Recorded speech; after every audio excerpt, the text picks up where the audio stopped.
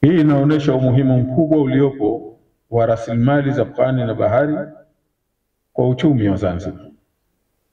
Sekta kama za utalii, usafiri wa baharini, bandari, gesi asilia, mafuta pamoja na uvuvi zimechangia kwa kiasi kikubwa pato la taifa.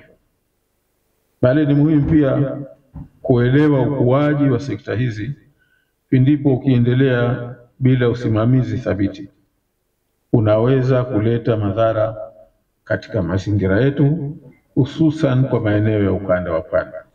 Kitabu cha hali ya halisi ya mazingira ya ukanda wa pwani na bahari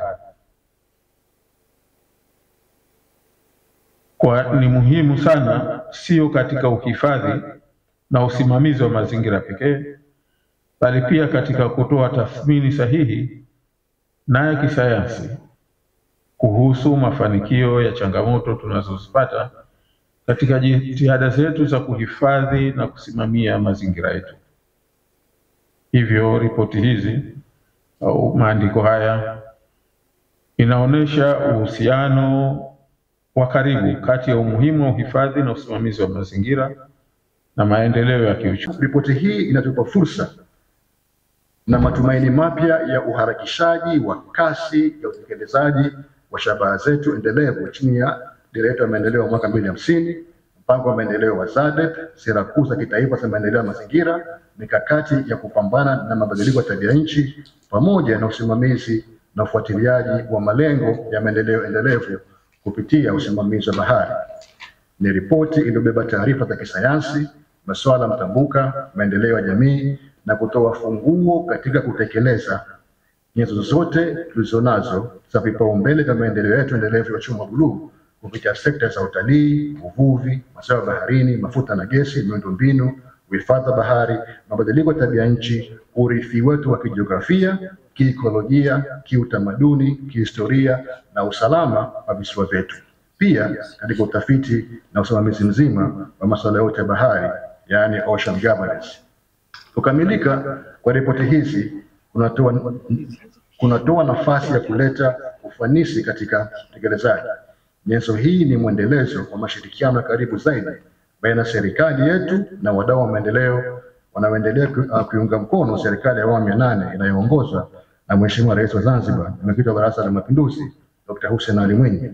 Ripoti hii itasaidia sana katika kuimarisha uungaji mkono wa ajenda yetu ya uchumi wa buluu kutoka kwa wadau wa maendeleo ya kimataifa na kuendelea kukuza imani kubwa ambayo wadau wa maendeleo hawa walionayo walionayo kwa uongozi mahiri wa serikali yetu ya Ripoti hii imeangalia zile value chain ambazo zinatokana na ile ecosystem ya Zanzibar. Haikuexamine tu labda mikoko, imeangalia mikoko ina impact gani mpaka on the ground. Kwa hiyo unakuta kwamba eh, ripoti hii sasa hivi ukiangalia imeangalia kwa mfano eh, maritime transport, tumekwenda mpaka meli Zanzibar huko mbeleni zitakuwa na athari gani kwenye mazingira, lakini impact yake itakuwaje? Tunataka kuchimba mafuta na gesi, mafuta na gesi tutapata hela, lakini mazingira yatakuwaje? Je, yatakuwa sustainable? waelewe rasilimali ambazo wanazo.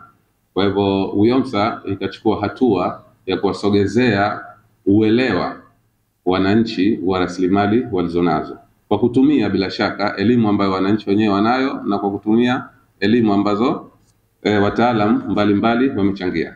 Kitabu hichi kidogo kimetokana na kitabu chengine kikubwa ambacho kiliandikwa kwa lugha ya Kiingereza na Dr. Matthew Richmond ambacho vile vile kinahusiana na kutoa mwongozo wa bayoanuai na mazingira ya baharini na kimeto- kime- kime- sehemu ndogo tu ya kitabu hicho na, na kufanywa hii pocket guide sort of, ambapo tunacho tulichonacho leo ni toleo la pili. Toleo la kwanza ilikuwa ni hichi kidogo sana na kina mambo machache kidogo kulinganisha na toleo la pili.